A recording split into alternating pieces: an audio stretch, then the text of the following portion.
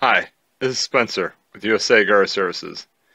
I'm here with my 3 degree of freedom robotic arm and in this video I'm actually only going to use two of the degrees of freedom. So I'm not going to use the, um, the horizontally mounted servo at the bottom. I'm just going to use the upper two servos. So I call this servo 2. I call this servo 3. And my goal will be to have the tip um, reach this point that I've marked on the surface of the desk 120 millimeters away from the the center of the origin, the base of the robotic arm. So to do that, I'm going to do some calculations uh, so we can determine what rotation angle will be needed for the two servos I'm using and then I'll also show the, the code that I'll plug those angles into, and then we'll a try and see how close I get to that point. To start, I want to define points on the robot and show measurements that I took. At the base of the robot on the tabletop is the origin, point zero zero, and then 120 millimeters to the right of that point is the, the aim point. So this is where I want the tip of the robot to hit uh, then there's point S1. Point S1 is actually where servo 2 pivots from and is directly above the origin 96 millimeters up. There's point S2. Point S2 is where servo 3 pivots from. This is actually um, 9 uh, millimeters uh, in the negative direction, so to the left. Um, and then 162 millimeters up. And then there's point S3, which is the tip of the robotic arm. It's uh, 23 millimeters to the right, so 23 millimeters in the X direction, and 299 millimeters up.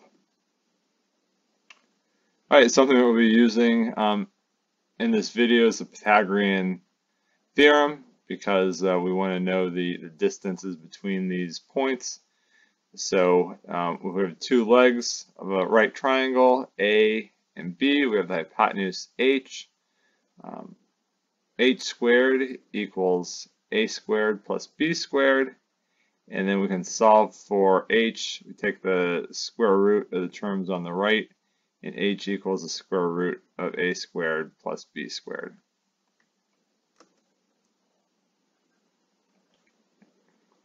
Okay, now like I said, I want to know the distance between the, the different points, and because I only have the x and y coordinates, I'll need to use the Pythagorean theorem to get um, the distance of the hypotenuses.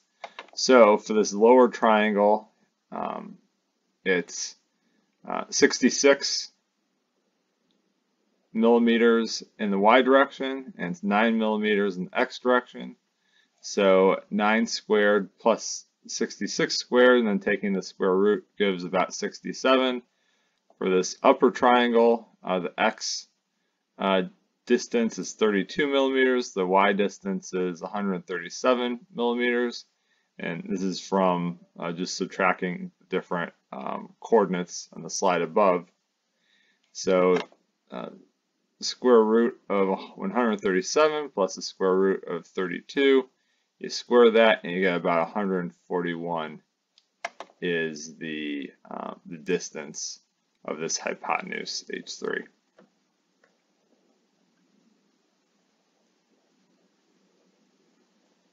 Okay, I also want to know the, uh, the angles of these triangles, and to do that, I'm going to use uh, the sine function. So uh, the sine of any angle is the um, is equal to the opposite side over the hypotenuse. So if we take this angle right here, um, the opposite side would be this side up here, the 32. The hypotenuse is this side right here, the, the 141. But uh, we actually already have the distances of the sides. We don't have the angle. So we're going to have to use the um, the inverse of the sine, uh, which is can be written as a sine, and then a sine of the opposite side divided by the hypotenuse is equal to the, uh, the angle. So for this uh, upper triangle, it's actually this angle I'm interested in, which is the same as, um, as this angle, uh, just the, um, the same triangle flipped over the, hypotenuse. So uh, using this a sine equation, a sine of the opposite side, so 32, or the hypotenuse 141 equals 13 degrees. So this angle right here is uh, 13 degrees. And then for the bottom triangle, the uh, again we're using a sine, so the opposite side is 9, the hypotenuse is 67, so a sine 9 over 67 is equal to 8 degrees. And this is something you can put into your, um, if you have a scientific calculator, you can do this. You have to make sure that you're in degrees and not um, radians. And what this is telling me is that the, um, the air in servo 2 right here is about 8 degrees. So I should probably back up and go to um, go to the first slide. So ideally with this robotic arm, with um, each of the um, each of the linkages in their neutral position, I would want them to be uh, straight vertical. So I would want point S2 to be directly over um, S1, but it's not. In reality, it's about 9 millimeters um, to the left of it. And then um, for the um, the point at the top, um, it's 23 millimeters to the right. So I need to figure out what the uh, what the angles are they're actually at since they're not directly stacked on top of each other.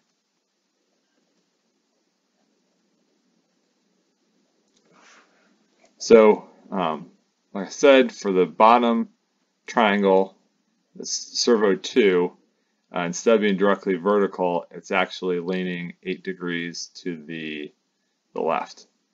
And then if um, the top triangle, servo 3 were um, in line with servo 2, uh, if it didn't have any air, it would be pointing off in this direction. So it would go over here. So not only is it not um, put in that direction, it's actually you know leaning over to the right. And it's leaning over to the right by 13 degrees. So it's this 8 degrees that's leaning over to get to vertical, plus the 13 degrees it's leaning to the right, and you find out that servo 3 has a total error of 22 degrees. When a robotic arm is hitting our aim point, it's going to look something like this um, diagram at the, the top. So the servo 2 and the first linkage are going to be rotated uh, a certain amount to the right, which we're seeing right here. And then uh, servo 3 and that top linkage will also be rotated to the right and it'll be going down to the, uh, the tabletop. So the way that we're going to um, determine the, the angles that we need for these servos, we're first going to solve for this point that it's at the um, uh, at the junction between the the first linkage and the second linkage. So this elbow right here, this is the point that we're going to to solve for. The way that we're going to do that is we're going to use the Pythagorean theorem again and we're going to write the uh, Pythagorean theorem for the first triangle, and we're going to write the Pythagorean theorem for the, the second triangle, and we're going to solve for, uh, for both. So for the, uh, the first triangle, uh, calling the, the x um, leg x and the y leg y. Uh, we know the uh, length of the, the linkage hasn't changed when the, the arm uh, rotates to the right, it's still uh, 67. So using the Pythagorean theorem, we know that uh, 67 squared is equal to x squared plus y squared. So that's what I've written here. And then um, for this next uh, triangle, there's a little bit more to it. Uh, again, we know that the length of the arm, 141 degrees, excuse me, 141 millimeters, hasn't changed when the arm rotated. So the hypotenuse is 141 squared. And then we have the, uh, the x dimension, which uh, the point that we're trying to hit is um, on the tabletop. It's 120, excuse me, 120 millimeters from the origin. Um, but we're not covering the entire distance with this triangle. We're only covering uh, the 120 millimeters, but we're subtracting this x piece of it because this isn't part of the second triangle. So it's 120 minus x, all this squared, plus the y component squared. And then if you remember from some of the, the diagrams above, this point right here, I'm calling S1Y, is 96 millimeters above the, the tabletop. The tip right here, this junction point, um, includes that 96 millimeters, but also includes this Y distance right here. So this is 96 plus Y. So for the y component of this triangle, it's 96 plus y, and then all of this is squared. Um, so right here, I have uh, two equations and two unknowns.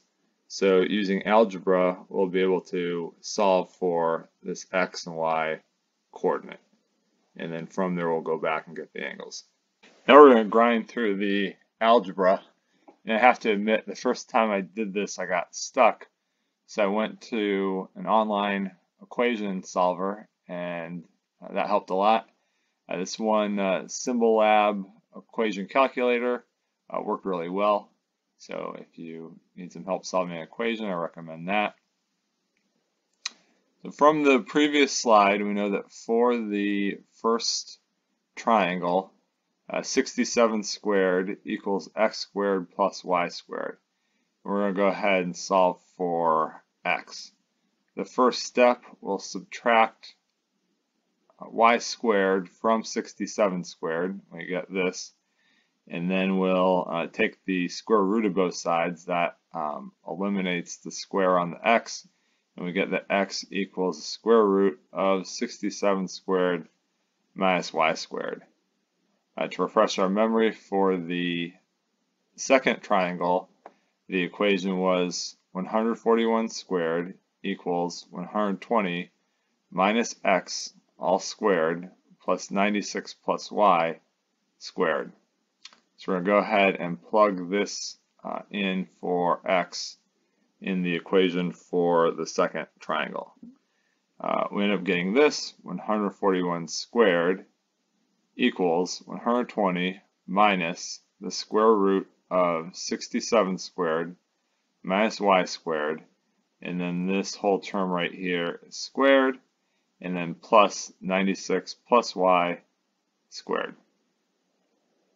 Now we're going to uh, expand to get rid of these two squares. Uh, so we square the 120.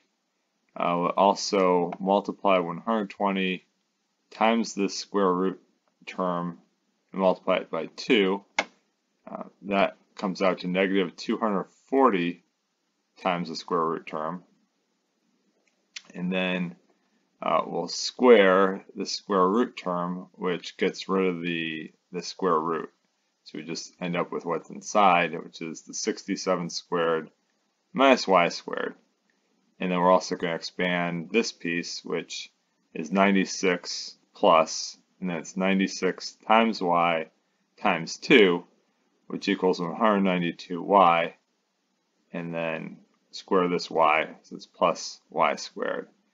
Alright, now we have both y squared plus, y squared negative, and that allows us to uh, eliminate the y squared, and that's what you see here in this uh, line. Next, we're going to do three things. We're going to isolate this square root term uh, by itself, um, I guess including the negative 240 on the left uh, by itself. We're going to uh, square all the squared numbers. And we're going to consolidate the, the terms. So we'll uh, add um, 240 times the square root term to both sides. That eliminates it on the right hand side and uh, creates a positive 240 times the square root term on the, uh, the left hand side. I will also go ahead and square the 141, the 120, the 67, and the 96. We'll um, subtract the 141 squared term from both sides, so we'll remove it from the left and we'll add it, it'll be in the negative on the right. And after we're done with all that, uh, it looks like uh, this. So 240 times the square root of 67 squared minus y squared is equal to 192y plus 8,220. Now we want to get rid of the square root. To do that, we're going to square both sides. Uh, 240 squared is 57,600. Uh, when we square the square root term, it goes away, and we just have the 67 squared minus y squared. And then on the um, on the right hand side, 192 squared is 36,900 times y squared. And then uh, 192 times 8,220 times 2 um, y is 3.16 times 10 to the 6 y. And then the 8,220 squared is 6.76 times 10 to the 7.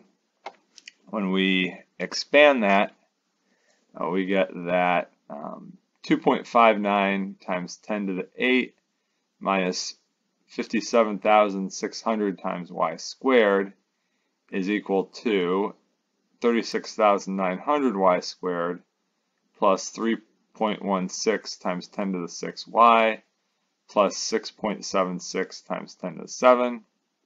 We want to move all the terms to the right hand side and we end up with 0 equals 94,500 times y squared plus 3.16 times 10 to the 6.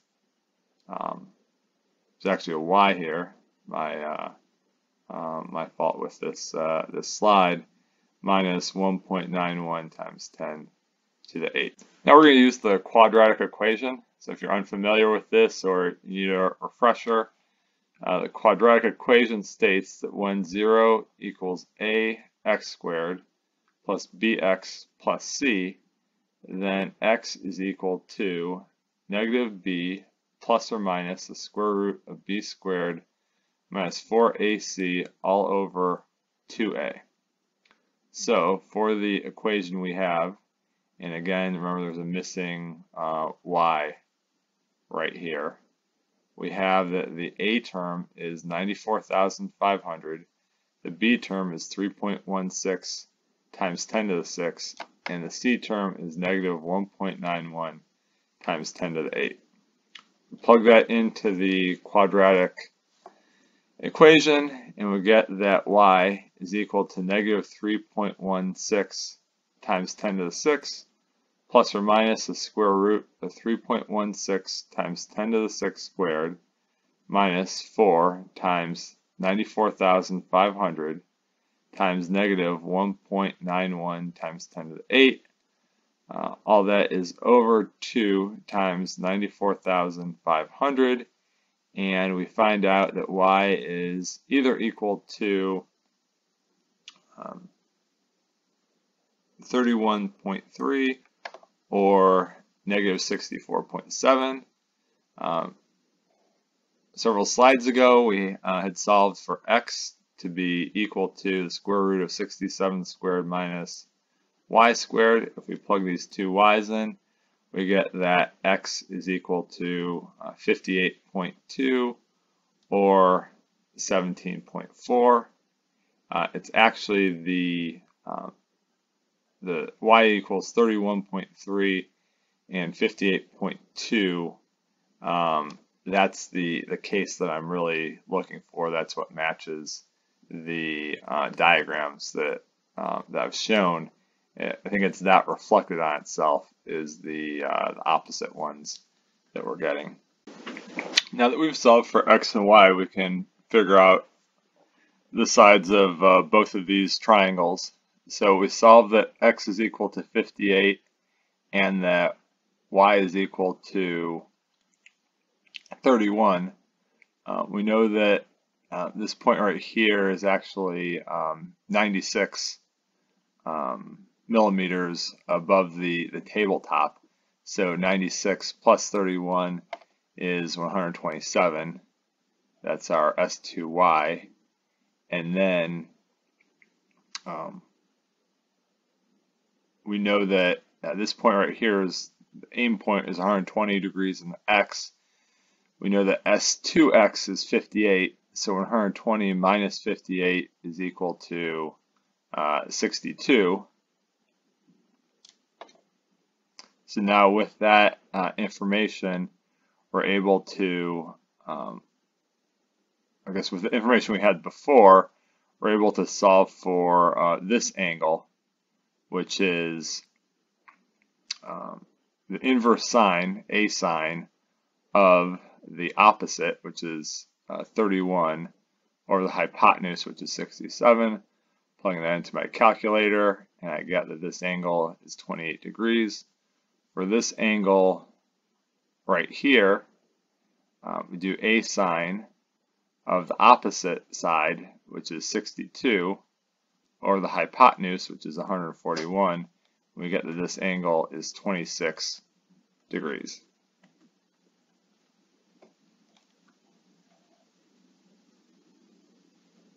So we saw before that this is 28 degrees. This is uh, 26 degrees. So um, with the robotic arm, this is the, the linkage for servo 2. So this is 28 degrees if the um, second linkage, the servo 3 linkage, if that was in line with it, it would continue to go on up at 28 degrees but it's not. It's pointed down in this direction. So I know that this is a right angle, so it's equal to 90. So this angle right here is 90 degrees minus the 26 degrees, so it's 66 degrees. I know that this angle is 28 degrees, so I just solved for it right there. So uh, combining both of those, so for this combined angle, it's 66 degrees plus 28 degrees is equal to 94 degrees. So this is a reminder from a previous slide that the servo 2 uh, linkage is actually uh, kind of leaning 8 degrees to the, the left. So for the arm to get all the way to 28 degrees, it's going to have to go an additional 8 degrees. So instead of just going down to 28 degrees, it's going to be 28 minus 8. So servo 2 is going to have to go all the way to uh, 20 degrees. And then um, we also had talked about how um, servo 3 is 8 degrees plus 13 degrees, um, I guess, off of being in line with servo 2. So that's 22 degrees that servo 3 is off from the angle of uh, servo 2. So we'd solved in the previous slide that that angle servo 3 was 94 degrees, um, but um, it's already, its starting position is off by 22 degrees, so 94 minus 20 degrees equals 72 degrees for the servo 3 position. Hi. Now to, um, I guess, make it uh, a little more uh, confusing, the two servos are actually um, upside down from one another. So this is where servo 3 is, and the way it rotates, all the way to the left is 0 degrees, the neutral position is 90 degrees, and all the way to the right is 180 degrees. So um, when servo 3 pivots to the right, uh, its value is going to increase. So it will be 90 plus 72 is going to equal 162 degrees. So what we're going to put in the code is that we want servo 3 to go to 162 degrees.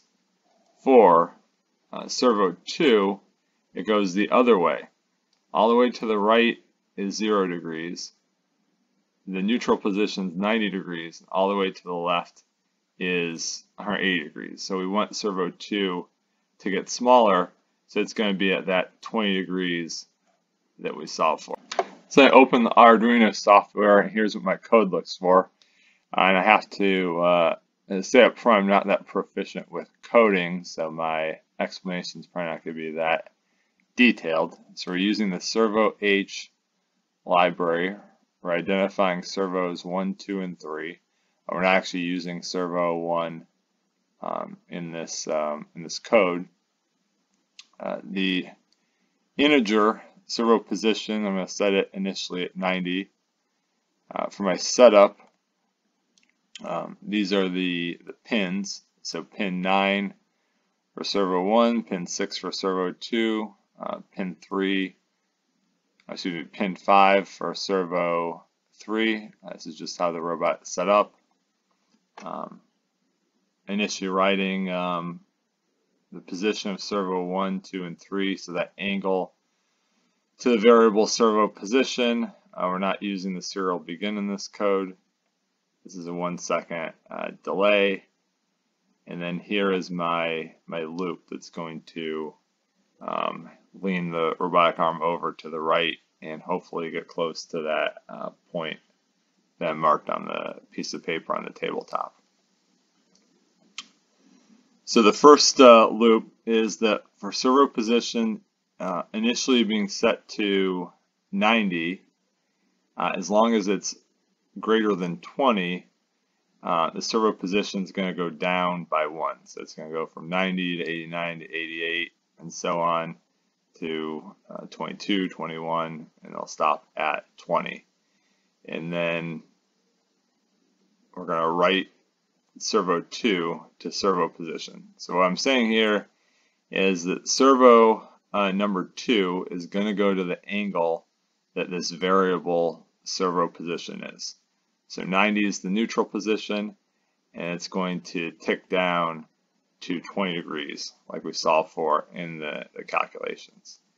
And between every one degree move, there's going to be a 10 millisecond pause. Um, we won't notice that during the um, when the arm is moving, uh, but that is going to slow it down enough that it's not just going to crash um, from one position to another.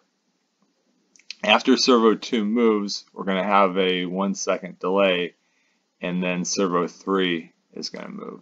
So the, the loop for servo 3 is initially set to 90, it's going to, as long as it's less, the variable is less than 162, it's going to continue to tick up uh, by one. So this for statement goes down by one uh, for each time. This for statement goes up by one. Um, and then we're going to write this uh, angle variable to servo 3. So because Servo 3 is uh, was installed kind of opposite as Servo 2. It's going to uh, tick upward as it turns in the, um, I guess from our vantage point, the, the clockwise direction. They're both turning clockwise. Again, a 10 millisecond uh, delay between each tick. Um, at this point, we're hoping that the arm is close to that aim point, and we're going to wait five seconds so we can get a good look and see how well we did. And then um, we want to return the arm to its original position. So I'm going to um, first move servo 3 back to its uh, original position, at least original position relative to servo 2. So we're going to start out with the variable servo position being equal to 162 as long as it is um, greater than um, 90 we're going to tick down um, by one degree. And then we're going to write that variable for the angle to servo 3 again a 10 second excuse me 10 millisecond delay between each pulse. And um, once servo 3 has moved all the way, we'll have a one second delay. And then finally, we're going to move servo 2 back to its original position. So with the servo position variable equal to 20, as long as servo position is less than or equal to 90, we're going to tick up uh, by one degree. We're going to write that to the servo 2. Uh, again, we'll have the 10 millisecond delay between each degree movement. And then once we're back in the original position, we'll have a five second uh, pause. Now I'm going to click on this arrow to upload the code to the robotic arm. Okay, moment of truth. Let's see how close we get. If we're really anywhere near the aim point with these theoretical calculations, I'll be I'll be pretty happy.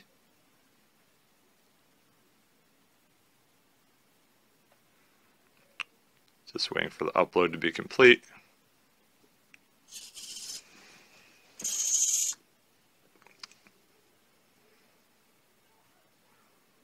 And we're we're pretty close. Looks to me like we're landing about uh, five, maybe six millimeters uh, beyond that 120 millimeter uh, point. So I'm pretty happy with that. You know, now I know the uh, the air I could use to uh, to calibrate that and um, make more accurate pre um, predictions in the future. Thanks for watching this video. The reason that I'm working with robotics is that I want to automate the gutter cleaning process in order to reduce ladder fall deaths and injuries. You can help me in this effort. On the next slide, I'm going to show a list of items that I need. If you have these items and are willing to give them away, please give me a call. Thank you.